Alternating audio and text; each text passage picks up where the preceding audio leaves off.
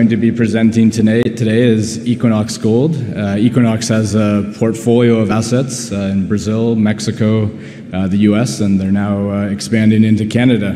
Um, just as a quick friendly reminder, if you do want to ask a question, you can submit those through the app, and I will ask them at the end. And with that, here to give us an update is the company CEO, Christian Milau. Over to you. Great. Thanks, Ryan. Uh, glad to be back here in person. It feels like it's been a long time seeing some faces. It's a little odd talking not to a screen for a change. Um, I really just want to recap on the story here at Equinox for those of you not as familiar, but also give you a really good update because there's been so much happening over the last two years since we were last here. And obviously, Equinox was built um, about four years ago. Actually, the concept was pulled together. Ross Beaty, who's here with us, and uh, Richard Wark, myself, Greg Smith, we sat down, and we really wanted to pull together a vehicle where we could launch one of the next good size, ultimately growing into a large size gold producer. And that was in the sort of late 2017 period. And this is the result of that platform within four short years.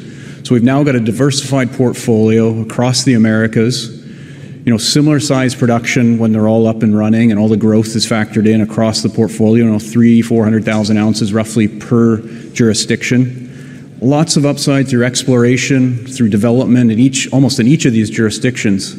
So we're really excited about the platform we're building. And when we started this, gold was about, I think it was $1,180 an ounce, I remember running one of the models at. So really changed environment. We just really felt it was the time, and we needed to replace some of those companies and assets that had been taken out during the last cycle, and we really wanted to put in place one of the next great Canadian gold producers. And when I look at the history, you know, we really started from a standing start in late 2017. Uh, we acquired Mesquite from New Gold for about $150 million. Um, that mine has generated, I think, almost $200 million in the first two and a half, three years that we've owned it. So it's been a really good result. Um, then we added Aurizona. Well, it was part of the portfolio, but we added it into production, we built that mine on time, on budget. It was $160 million. And now it's generating $100 million a year of cash flow and lots of exploration upside, which I'll talk about a little bit later. Then we did the Leagold acquisition. We added uh, five mines there. Uh, lots of ounces, 7 million ounces. Brazil has been fantastic. We stumbled a little bit in Mexico last year, which I'll touch on a little bit later. But otherwise, you know, the Brazilian mines have been a great addition to the portfolio. And then this, in this past year, in 2021, we added Premier Gold. And we consider ourselves a little bit fortunate to have come across that, and we think we've added one of the big, great Canadian potential gold producers here in the next few years. And we're in the middle of construction at Greenstone in Ontario, and that'll add almost 400,000 ounces to the profile. I mean, we have 250,000 of that in terms of our pro rata percentage. But that's going to be one of the biggest Canadian mines, probably number four when it's up in production.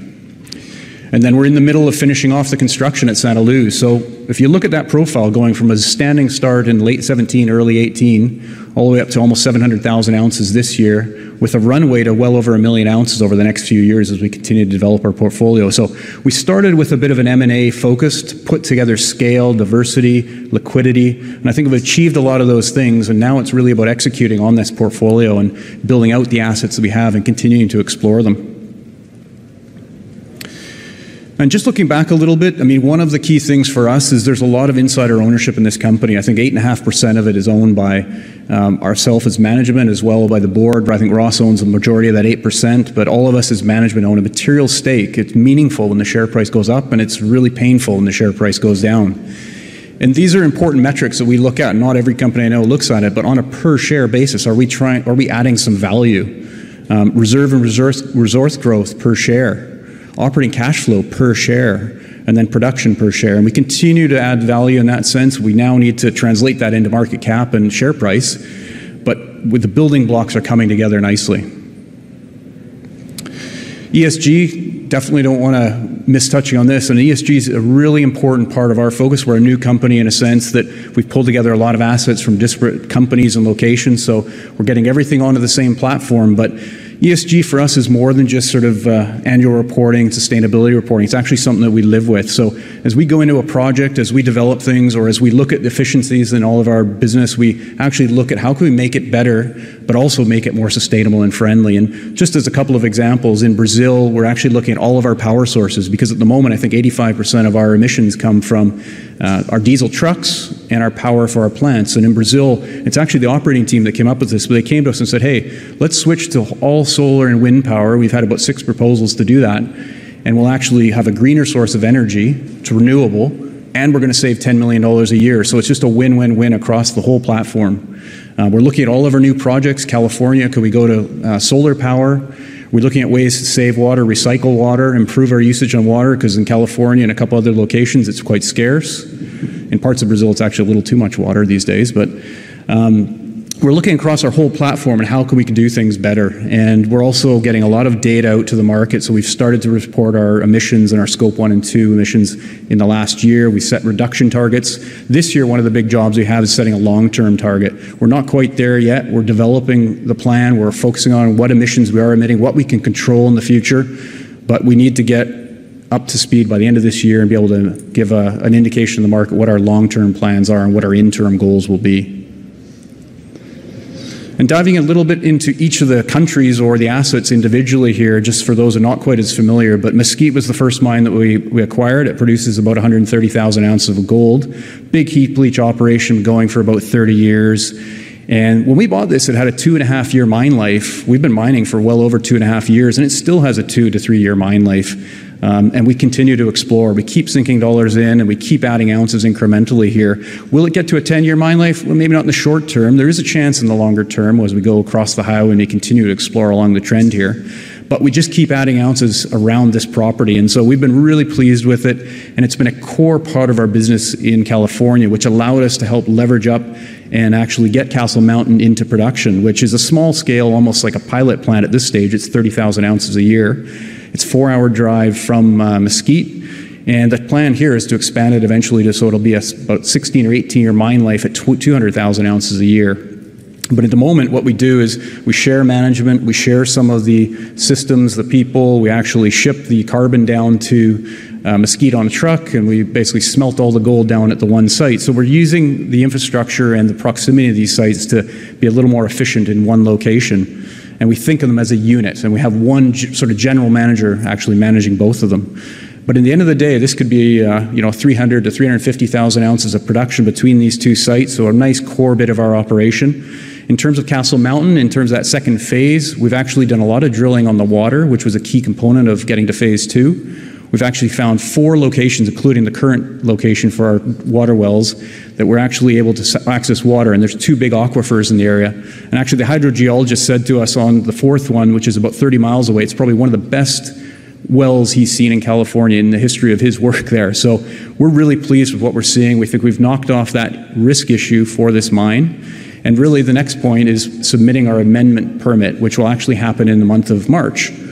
And so we'll set the time clock going there. And in the discussions with the regulators, you know, we may be in a three year process to update an EIS, but there are indications that we might be able to go a little bit faster if we get to just an amendment of the current uh, plan of operation and current uh, conditional use permit, which uh, might make it a two year pro- process. So at the moment, we're sort of guiding towards three years, but that kind of gets it permitted and ready to build that phase two just after Greenstone comes into production in 2024.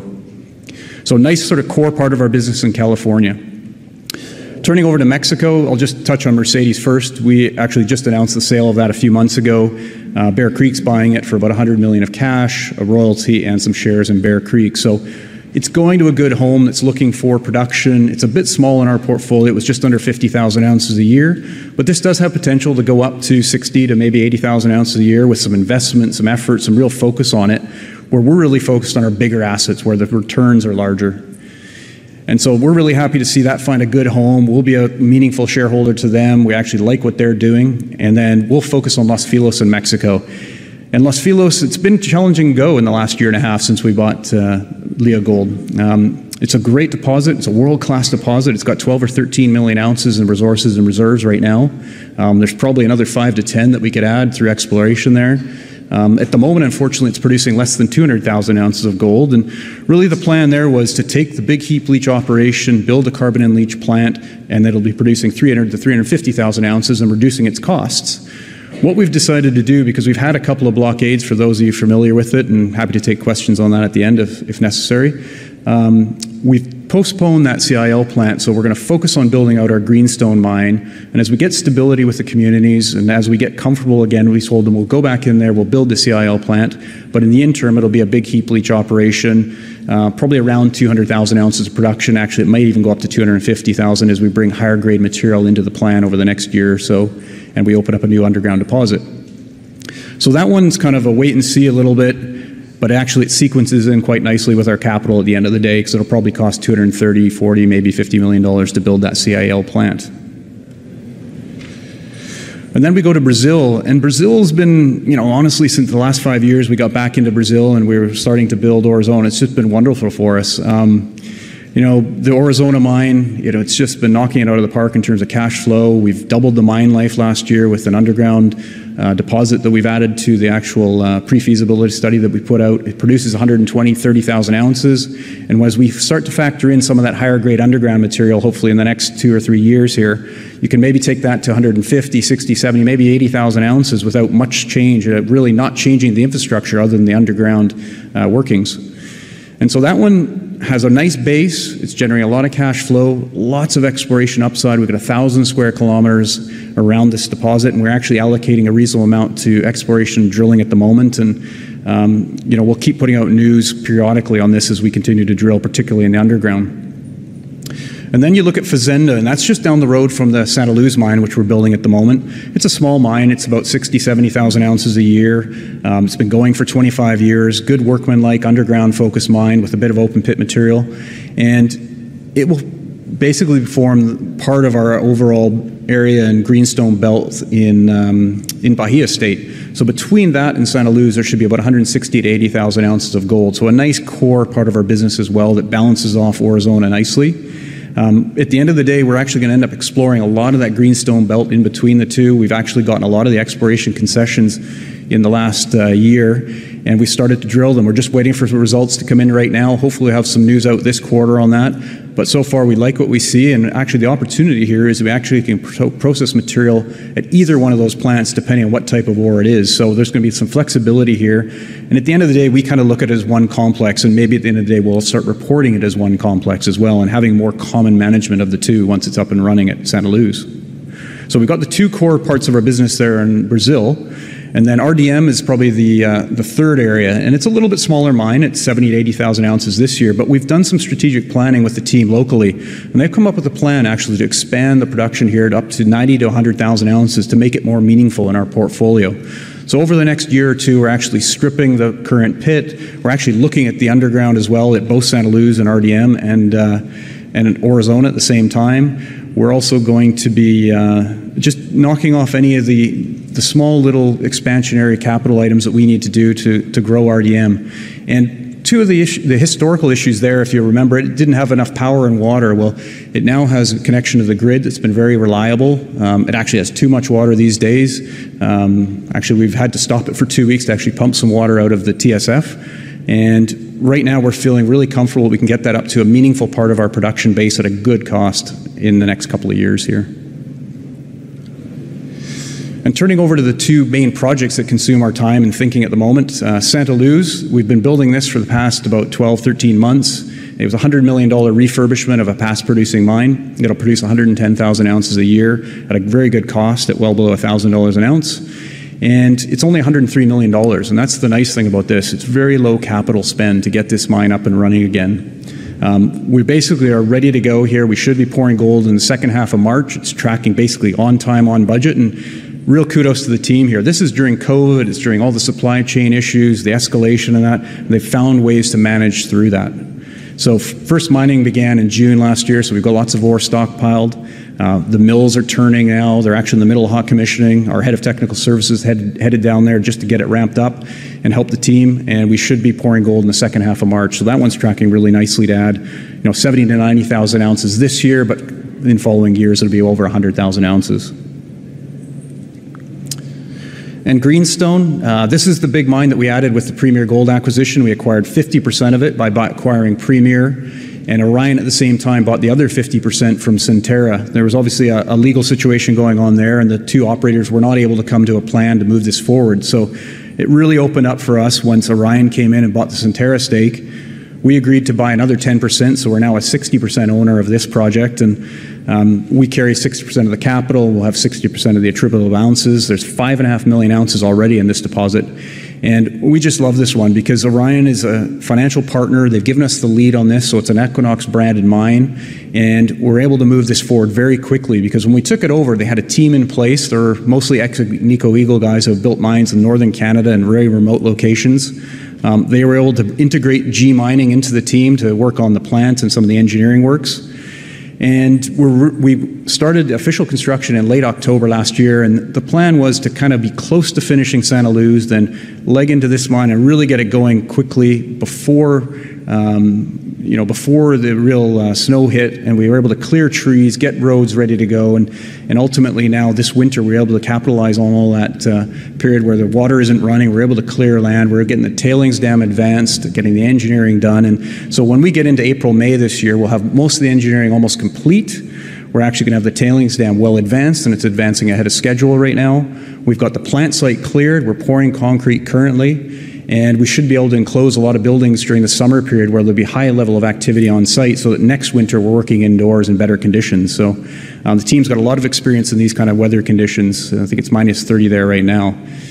And it has a 14 year mine life to start. And there's a lot of potential to explore along strike and underground eventually as well. So this one, again, is going to be one of those cornerstone pillars of our portfolio. And it'll be the fourth largest mine in Canada once it's up and running. So just love the fact that we are able to acquire this. And when you look at our Premier Gold acquisition, I think we paid 550 million or something for the whole company. We just sold Mercedes for almost 150 million. We spun out i-80 Gold, which now has a value of 150 million for our 25% stake. We own Hasaga and Red Lake, which came with that, which are interesting deposits there in Red Lake that haven't got any value surfaced at this stage. But if you add up all the numbers and you look at what we paid for it, we're going to be, have acquired this 60% stake in this mine for sub $200 million. And I think our goal is to actually end up paying zero for it when we actually surface all the value. So I think this is going to be an incredible, important cornerstone piece of our portfolio for many years to come. And one of the questions we get today is, you know, is that capital estimate reasonable? Um, $1.23 billion, 60% will be what we'll be funding. Um, there's a big contingency in there. It's 14%, $177 million. We had the opportunity, obviously, to watch the other Ontario projects which have really struggled over the last few years. We were able to watch the whole COVID impact, look at the escalation in inflation, get updated steel quotes from our suppliers. We were able to factor that in. So the capital went up 20% from the feasibility study, but we feel we have a really healthy contingency in there now. We've almost knocked off the engineering work, which is one of the key problems with a lot of projects that start before they're really ready to get going. And we also have some few opportunities here to actually lease equipment to reduce the capital burden. We haven't included any pre-production revenue at this stage. We're trying to be conservative on that front. And we've also factored in more current FX rates. So we think we're in a really good starting place with a great team. And so far, we're on track, on budget. And I think this summer is going to be a critical period where I think we'll want to get people up towards the end of summer or early fall, come up and see what's happening up there because I think it's going to be a very impressive site. The scale of it's incredible, and the advancement so far has been really good. So it's a two-year construction period. We'll be done uh, with commissioning after about a six-month period. So in the first half of 2024, we should have this mine up and running. And then just stepping back and looking at the overall story here. So we have about six, you know, almost 700,000 ounces of annual production currently. We have a similar rate ideally for next year. And then as Greenstone comes in, you start ramping up towards that million ounce mark. And where's that growth going to come from? And it's almost sequenced nicely here from left to right. So Santa Luz in 2020, uh, in 2023 will add another 30,000 ounces on top of what it'll do this year. Greenstone will add 240,000 ounces when it's up and running. Filos has a multi-phased approach because we're opening up the new deposit to add the 50,000 ounces a year from Bermejal. And then the new CIL plant will add another 75,000 ounces on top of that. And once we're actually done with Greenstone, we have the ability and flexibility in terms of cash flow on that to also get going on Castle Mountain once that permitting amendment's done. And that'll add another 180,000 ounces. And then Aurizona, there's underground expansion potential. So we got almost 600,000 ounces of funded internal growth, so we don't need to acquire any further production growth to get us towards 1.2 million ounces a year of production. And at this point in time, where are we trading in the market? And that's the right-hand side of this graph, which is, you know, the intermediate producers and senior producers are trading between 0.75 and 1 times, kind of a depressed level compared to historical multiples. Uh, we're currently trading more like a developer at 0.63. I think now that 2021 is done, I think the Los Filos situation is hopefully behind us. We've had stability for a period here now. Um, I think most of the value of that's been knocked out of our stock price, so I think there's only upside to come from that in due course. And then you look at basically de-risking Greenstone and Santa Luz, and as we continue to do that, that multiple will climb naturally towards its peers in that sort of intermediate to sort of smaller seniors level. Even without the gold price changing, we think we've got a really exciting next sort of year and a half or so as we climb and claw our way back up that multiple scale. And how does the balance sheet look? And that is a question we get on occasion here, but the best thing about this slide, it almost hasn't changed in a year. We still got $500 million of liquidity, cash, and a revolver available. We still got almost half a billion dollars in investments, which is $300 million of Solaris, which is $150 million of i-80, which is gonna be a stake in Bear Creek Mining, a stake in um, a couple other small investment or disposals that we made previously. We own a royalty portfolio, which isn't included in here. We also own a couple of assets in Red Lake, and we've got cash flow coming from our operating mines of $300 million-$400 million, depending on your gold price. So we've got almost $1 billion in liquidity. We've got a cash flowing 700,000 ounce producing machine behind it, and we're really well-placed to continue to execute on all this growth and capital Uh, spend that we have over the next couple of years, with this year being probably the heaviest of the years. And just stepping back in summary here, um, we've now got seven producing mines, going to eight very soon. We've got five growth projects internally. We've got a massive reserve and resource base of 16 and 30 million ounces. Um, we've got a great balance sheet, and we've got a pathway to a 1 million ounces that is well-funded here. So I think our growth profile is almost unparalleled in this space, in this sector right now, and it's all funded internally. We don't need to go out and pay premiums and buy assets right now. We were buying them when gold was $1,100, $1,200, $1,300, $1,500 an ounce. And so we're really happy with what we've got. We like our geographical diversification, and I think uh, I think this is a space to watch as we just continue to move towards that million-ounce mark. And I think that value re-rate will just come along with it over time here as we execute. And maybe I think I've got five minutes here, Ryan, so if you have any questions.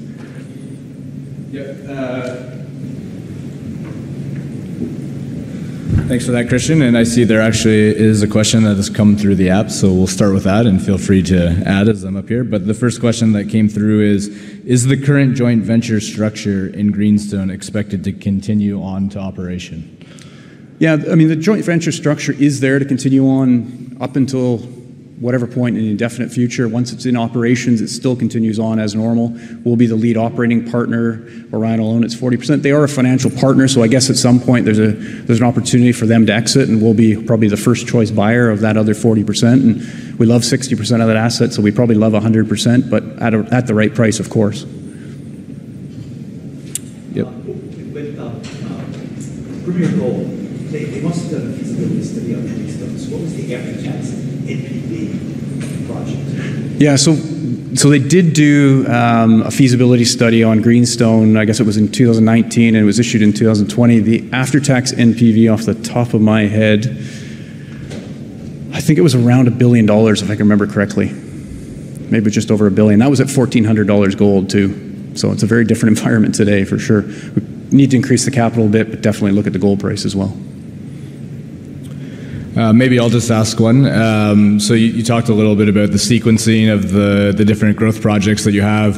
Obviously, you know, Santa Luz is almost done here. Greenstone is, you know, as you said, 2024 is where you're aiming for. And then you've got kind of a few different ones. So you've got Uh, castle expansion, you've got uh, potentially, you know, Los Filos, what you talked about, um, looking for stability there. So, you know, when you're thinking about competition between Filos and Castle, how do we think about that? Uh, what are you looking for in terms of stability? How should we be thinking about it? Yeah, I mean, that will be the, the trickiest point because obviously Santa Luz, Greenstone, and probably Castle sequence just naturally very nicely. And so I think Los Filos will just look at strategically here. I think stability for us is the most important issue. And I think after Greenstone's up and running, we have the flexibility as well. We could build two at the same time, or there could be some overlap. And I think we're proving that right now when we're building Greenstone and we're just finishing off Santa Luz. But I see both of them coming in most likely after Greenstone. And I think the Filos one's got a little more flexibility. Okay. Um, maybe another one from me here. So you've done, you know, quite a few deals over the past, call it three, four years. You've bought some assets. Uh, you've sold some assets. You're in the process of selling uh, Mercedes. Uh, how do you feel about the portfolio now? Are you happy with where it's at? Uh, can you talk a little bit about that? Yeah, we were talking earlier, I think Ross and I with one of our investors, and you know, we've just done a meeting with our board where we actually presented kind of where we've been and our strategic plans going forward, and actually we're quite happy with where we're sitting right now. Um, all the assets we have, we feel there's upside through exploration, through expansion and that, to actually make them more profitable, lower costs, et cetera, and grow the reserve base. Um, I think there's a few small non-core assets, but they're not our producing mines at this stage. It'd be things like royalty portfolio or possibly our Red Lake assets, you know, because they're really early stage.